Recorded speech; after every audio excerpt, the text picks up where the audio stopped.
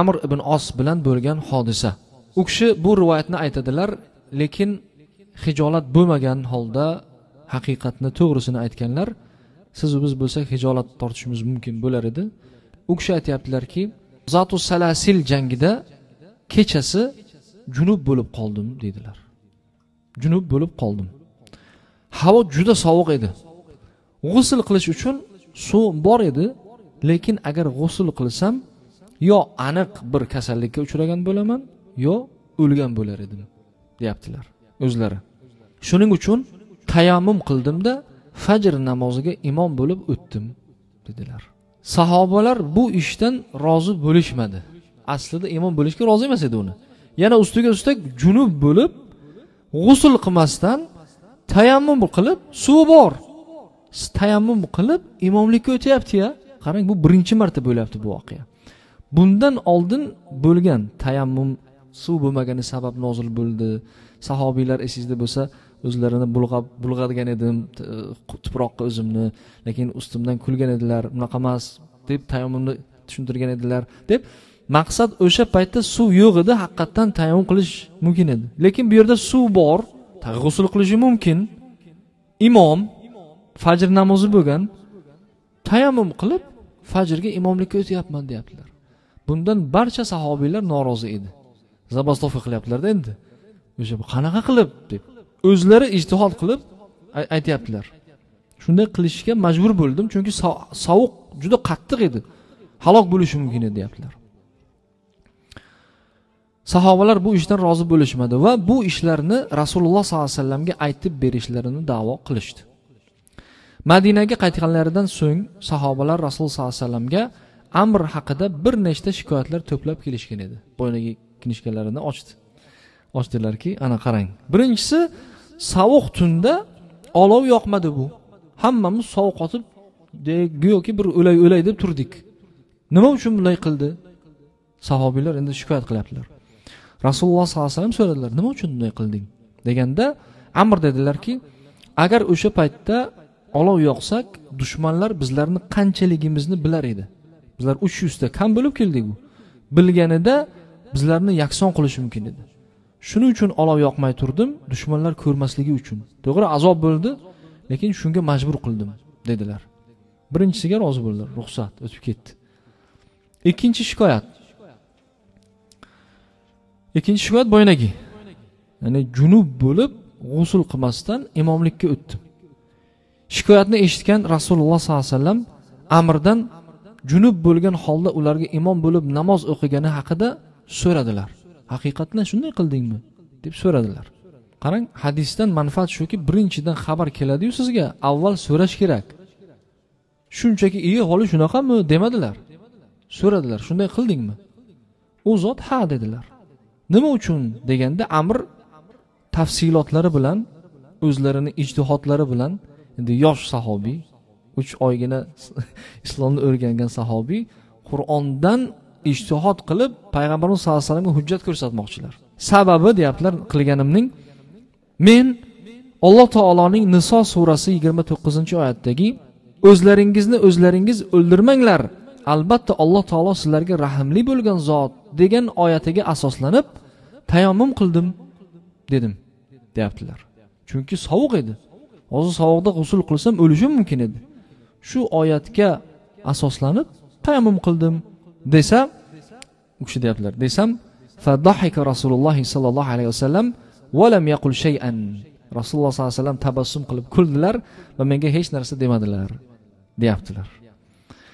Endi bundan manfaatlar olamiz. Birinchidan tayammum g'usul o'rnini oladi. Tahoratni ham g'usulni ham oladi. U farqi yo'q. Masalan faqat tahoratni oladi degan xayol bo'lishi mumkin emas. G'usulni ham o'rnini oladi va to suv bo'lguniga qadar yo o'sha e, muammo yo'qolguniga qadar. Ikkinchisi tayammumni suv bilan e, suv bo'lgan paytda ham qilish mumkinligi. Suv bor lekin tayammum qilyaptilar. Nima uchun? Chunki xavf bor u yerda. Ikkita sharti bor. Birinchisi sovuq kasallik. Ikkinchisi terining kasalligi. Terida bironqa kasallik bo'lsa qo'turmi biron narsami e, g'usul qilmasdan tayammum qilish mumkin hamma joyda va har bir namozda va o'sha imomlikda ham. Bundan oldin tayammum qilishni suv bo'lmagan joyda qilish mumkin deb bilingan boyagi sahobiylar. Lekin bu yerda shu ko'rsatdiki suv bo'lsa ham zarurat paytida mumkin ekan. Yana manfaat shuki sahobiylar islomiy fiqhda rasululloh sollallohu alayhi vasallam hayot bo'lgan paytlarida ham o'zlari ijtihod qilganlar. Rasululloh sollallohu alayhi vasallam hayotlar tiriklar. Bu yerda bunaqa voqea bo'lyapti. Nima qilamiz? Lekin oyat hadisda bilishadiki g'usul qilish kerak. O'zlaridan ijtihod qilyaptilar oyatdan. To'g'ri bu kulganlari bir boshqa masala. O'zining ozgina ilmchalari bilan alloh taoloning oyatidan shuni bilaman deb ijtihod qilganlar. Lekin shuni tasdiq qilganlar rasululloh sollallohu alayhi vasallam. Ijtihodlarini. Ollohning rasuli hayot bo'lib turib sahobiylar ijtihod qilganlar va ijtihodlari sunnat bo'lib ketgan. Bilollar roziyallohu anhuning ijtihodlari ham nimada sunnat bo'lib qolib ketgan? Kim biladi? Ha ya'ni tahorat qilganlaridan so'ng ikki rakat namoz o'qiganlari sunnat bo'lib qoldi. O'zlaridan ijtihod qilganlar. Yana ko'p bunaqa masalalar. Xullas ijtihodga ruxsat berilgan. Ijtihod ham ko'pincha bir narsaga to'qnashildi. To'qnashgandan so'ng nima qilamiz deb ijtihod qilinadi. Ana shu yerda ahli ilmlar aytishadiki ikki toifa bor sahobiylar davridan boshlanib hozirgacha. Ahlul hadis matn ahli bor. Matniylar masalan matn nima bo'lsa hadis nima bo'lsa shu ko'zlarini yumganlarda amal qilganlar. Ikkinchi toifa aqliylar ya'ni matnni aql bilan bog'lab to'xtab tur biroz fikr qilaylik deydigan kishilar bo'lgan sahobalar o'rtasida. Ahli roy ikkovlarini ham rasululloh sollallohu alayhi vasallam e, tasdiq qilganlar. Buni tarixda aytib o'tgan edik qaysi jangda? Qaysi jangda shu mashhur voqea bo'ldida aniqladik? Banu qurayzada haybar emas banu qurayza. Asrni banu qurayzada o'qinglar. To banu qurayzaga bormagunlaricha asrni o'qimanglar degan hadisni sahobalar ikki xil tushgan edilar. Ikki xil. Ba'zilar aytdilarki yo'q o'sha yoqqa borsak asr qazo bo'lsa ham farqi yo'q. Chunki shunday dedilar. Ikkinchilar aytdilarki yo'q asrni vaqtida o'qishimiz kerak. Bu so'zdan maqsad tezroq boringlar asrgacha ulguringlar degan maqsad edi. Deb ikki xil tushunganlar.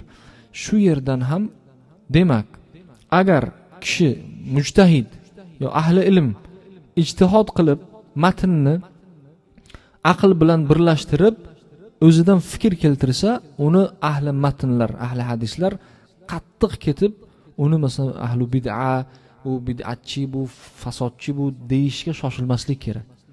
Chunki sahobiylar davrida bo'lgan bu narsa. Ikki taraf bo'lgan.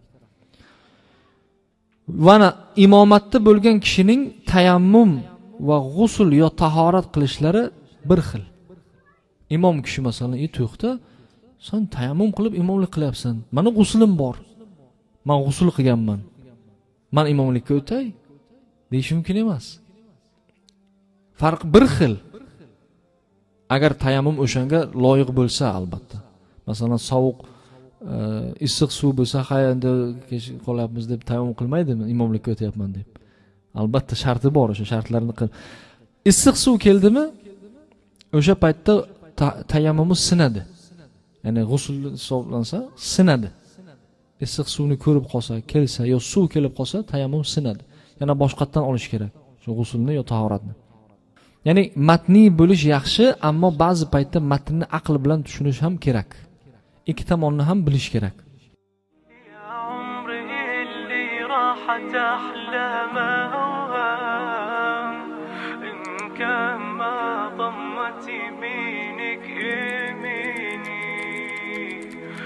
وجدي هبت عادي على انسام من عضة شفتي وفركاتي